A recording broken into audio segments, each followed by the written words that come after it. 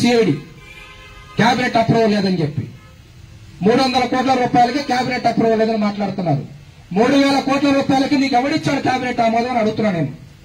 CID డీజీని సంజయ్ని అడుగుతున్నా. Advocate general Ponnavolu Sudhakar రెడ్డిని అడుగుతున్నా. జగన్మోహన్ రెడ్డి రాష్ట్రంలో నేను కరెంటు పోల్చే కానీ గ్రామ సచివాలయానికి కానీ వైసీపీ కలర్ వేస్తాను అని చెప్పి అసెంబ్లీలో పెట్టావా? లేకపోతే క్యాబినెట్లో పెట్టావా? ఎవడో అప్రూవల్ తీసుకున్నాడు మేము మూడు వందలు వేయడానికి సాక్షి పేపర్ సప్లై సప్లై చేయడానికి ఎవరు అనుమతి తీసుకున్నావు నువ్వు ఇచ్చేటువంటి అరకార సంక్షేమ పథకాలకి సాక్షి పేపర్లను యాడ్ చేసుకుంటానని చెప్పేసి ఎవరు ఏ కేబినెట్ అప్రూవల్ తీసుకున్నావు నేను అడుగుతున్నా.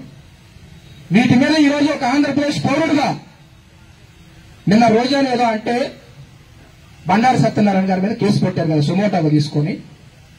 నేను అడుగుతున్నా నేను మాట్లాడినటువంటి మాటలు దర్శనం వచ్చి సుమోటాగా తీసుకొని వాళ్ళ మీద ఎంక్వైరీ చేయండి. సిఐడి సిక్స్ సంజయ్ అడుగుతున్నా నేను ఆరోపిస్తున్నా మూడు వేల కోట్ల రూపాయలు ఏదైతే వైసీపీ కలర్ వేశారో వాటికి క్యాబినెట్ అప్రూవల్ ఉందా? లేదు కదా. కేసు పెట్టండి. కలర్ వేసినోడి మీద పెట్టండి కలర్ డబ్బులు ఇచ్చినోడి మీద పెట్టండి. నాడు నేడు బర్గర్ పెయింట్లో కుంభకోణం జరిగింది.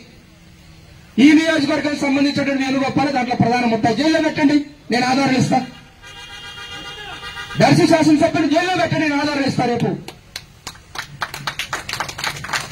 మీ ఇష్టం వచ్చినట్టు ఆయన ప్రజల కోసం పేద విద్యార్థుల కోసం ఒక నిర్ణయం తీసుకుంటే ఏం స్కిల్ డెవలప్మెంట్ సెంటర్లో అవినీతి జరిగి ఉంటే అధికారంలోకి వచ్చిన తర్వాత మీరు మొదటి రోజు ఎందుకు రద్దు చేయలేదు స్కిల్ డెవలప్మెంట్ సెంటర్ని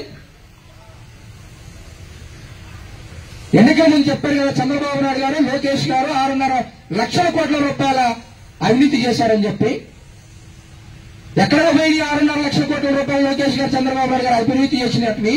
ఎందుకు బయటికి నీళ్ళని అడుగుతున్నాం అనేక మంత్రివర్గ ఉపసంఘాలు వేశారు. సీనియర్ ఐఏఎస్లతో అనేక కమిటీలు వేశారు.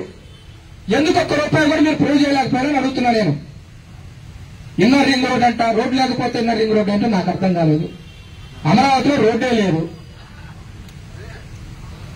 ఇన్నర్ రింగ్ రోడ్ అని చెప్తారు. ఫైబర్ గ్రిడ్ అంట. ఫైబర్ గ్రిడ్కి లోకేష్ గారికి ఏం సంబంధం? అదొక ప్రైవేట్ కార్పొరేషన్ కార్పొరేషన్ ఏర్పాటు చేసిన తర్వాత లోన్ తీసుకొచ్చుకున్నారు. వేశారు.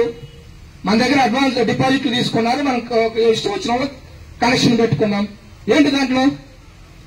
మరి ఆ పథకం కూడా మన ఫైబర్ గ్రిడ్ కూడా కంటిన్యూ చేస్తున్నాం నేను నిజంగా చంద్రబాబు నాయుడు గారు కానీ లోకేష్ గారు కానీ ఫైబర్ గ్రిడ్లో కానీ స్కిల్ డెవలప్మెంట్లో కానీ ఇన్నర్ రింగ్ రోడ్లు లేనినటువంటి ఇన్నర్ రింగ్ రోడ్లో కానీ స్కామ్ చేస్తుంటే మీకు ఎందుకు నాలుగున్నర సంవత్సరాలు పట్టింది?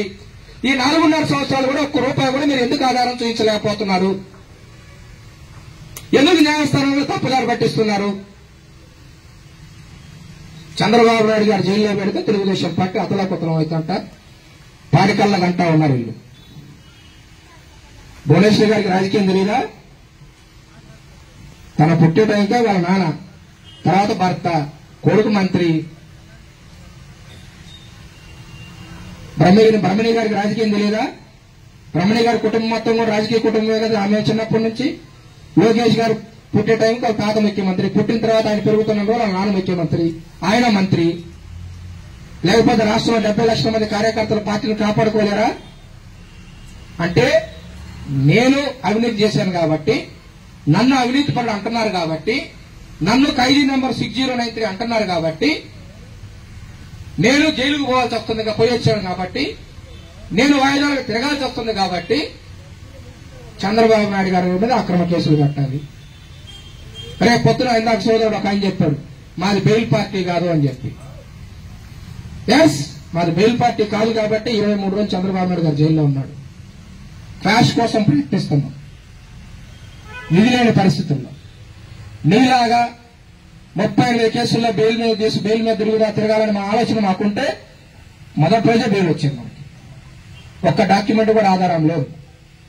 ఈ రోజు కూడా తల గీరుకుంటున్నారో గోళ్ళు గీరుకుంటున్నారు తప్పితే ఏం చేయాలో అర్థం కావట్లా.